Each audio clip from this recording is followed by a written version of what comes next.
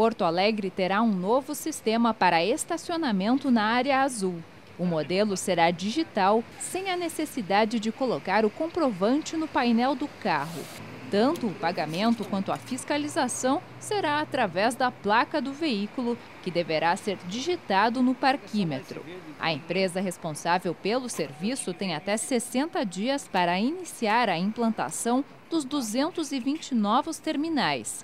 A tarifa vai custar R$ 2,10 a hora.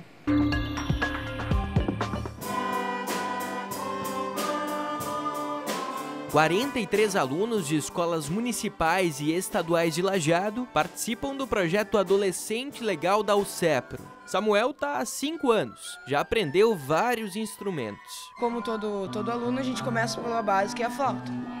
Agora eu já estou lá na, na orquestra da minha escola, toco bateria, a gente se apresenta. É muito bom, porque, tipo, a partir disso, tu consegue ter um futuro muito bom pela frente. Nas aulas de música, o aprendizado é muito mais que apenas tocar instrumentos. Aqui, os sons da flauta, da bateria, da guitarra são caminho no desenvolvimento dessas crianças e adolescentes. Eles se ocupam eles, eles mantêm uh, o aprendizado, o, a questão relacionada a manter-se num ambiente saudável. Esse projeto funciona de uma forma multi-instrumental, simultânea, né? pode ver o coletivo, é sempre assim.